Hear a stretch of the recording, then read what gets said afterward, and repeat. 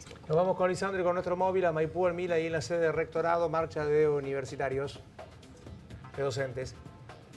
Desde las 9, Fer, pedir estabilidad laboral. Vamos a conocer detalles con Gloria Rodríguez, que es la secretaria general de COD. Gloria, ¿de qué se trata esta marcha?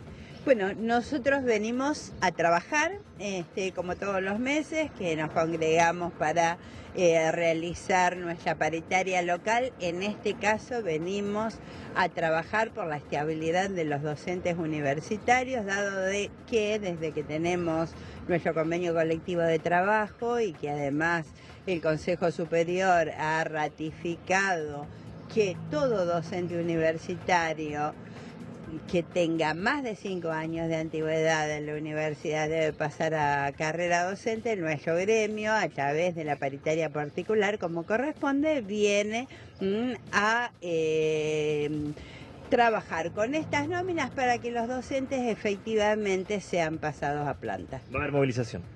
Va a haber movilización, los compañeros nos van a estar acompañando en esto que es un reclamo legítimo, dado es que eh, las universidades están en mora desde hace muchos años por no haber convocado a concursos docentes en las instancias que correspondían. Por otro lado, ¿se vienen las elecciones en COAD?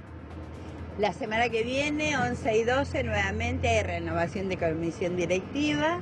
Eh, se presentan cinco listas. Nosotros esperamos, como siempre, una participación masiva de todos los docentes universitarios.